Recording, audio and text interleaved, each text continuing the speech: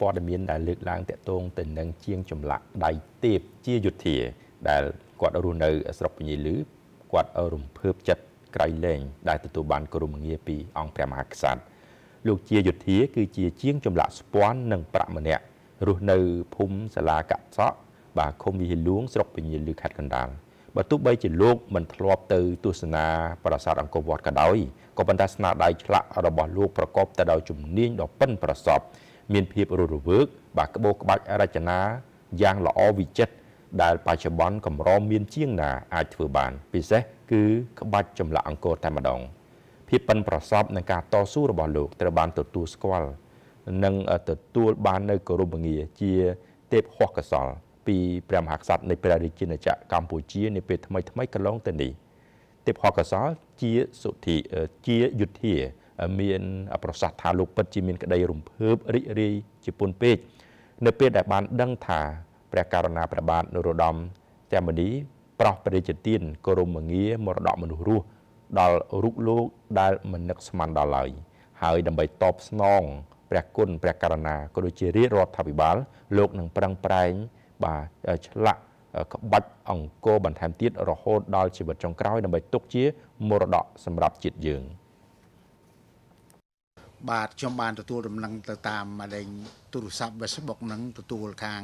ក្រសួងវប្បធម៌ហ្នឹងគេទេប្រាប់មកខ្ញុំមានចំណាត់អារម្មណ៍គឺ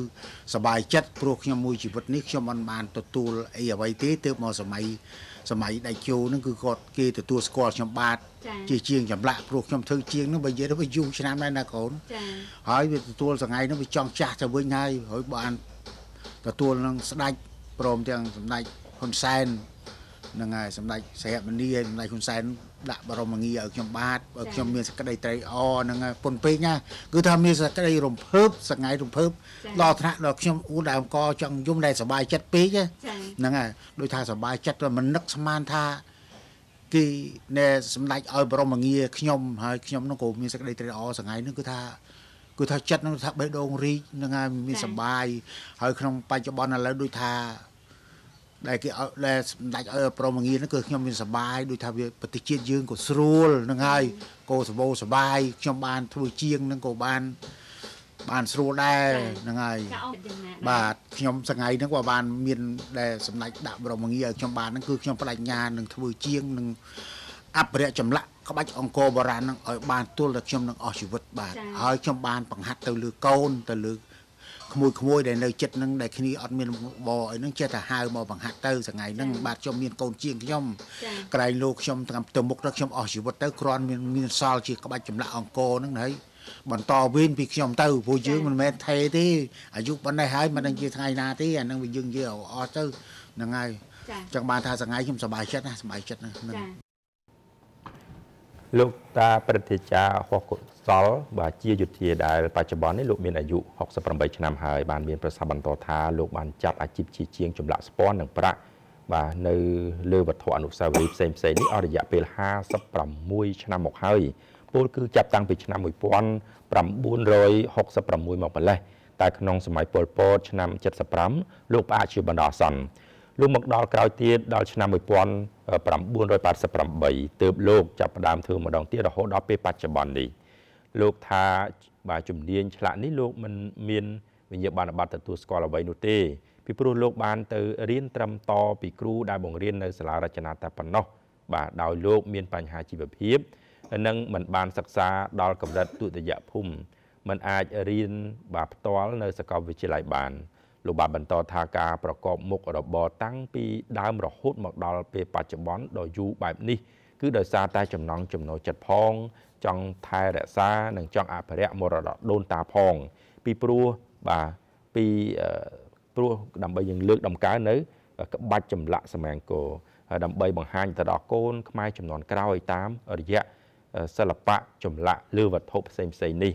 ហើយម្យ៉ាងវិញទៀតសប្តាហ៍ថ្ងៃសិល្បៈចម្លាក់សមង្គរបាទឃើញតែនៅលើស៊ីម៉ង់និងឈើតែប៉ុណ្ណោះទើបលោកធ្វើឲ្យប្លែកពីគេ គឺឆ្លាក់នៅលើស្ពាន់ក្រហមនិងប្រាក់វិញលោកក៏បានបដិញ្ញាធ្វើឲ្យបានល្អប្រសើរនិងខិតខំបង្ហាត់បង្រៀនកូនព្រមទាំងសិស្សផ្សេងផ្សេងមួយចំនួនទៀតដើម្បីរក្សាឲ្យបាននៅអ្វីដែលជារបស់ខ្មែរយើង សូមបញ្ជាក់ផងដែរថាលោកជាយុធាក្រៅពីទទួលបានការគ្រប់គ្រងច្រើនពីអតិថិជនក្នុងនិងក្រៅប្រទេសលោកក៏ធ្លាប់ទទួលបានការគ្រប់គ្រងពីប្រមុខដឹកនាំរាជរដ្ឋាភិបាលសម្ដេចជហ៊ុនសែនផងដែរដោយការពីខែមេសាឆ្នាំ2022កន្លងទៅ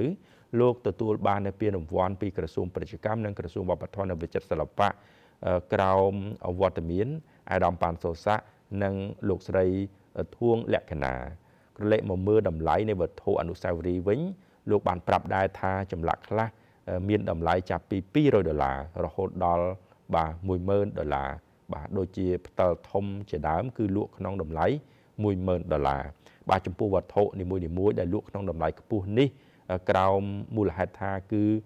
ឆ្លាក់ដោយដៃត្រូវចំណាយពេលយូរចាប់ពី1ខែរហូតដល់6ខែហ្នឹងក៏មានដែរព្រោះត្រូវយកបាទរូបភាពចាស់ចាស់សិល្បៈកសិប្បករ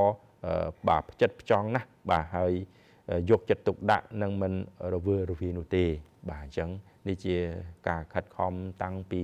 ដើមរហូតមកដល់ពេលបច្ចុប្បន្នរបស់លោកតាព្រឹទ្ធាចារ្យហោះកសលជាយុធាដែលត្រូវបានទទួលក្រុមងារពីអង្គព្រះមហាក្សត្របាទហើយលោកបាទពិតជាត្រេកអរណាស់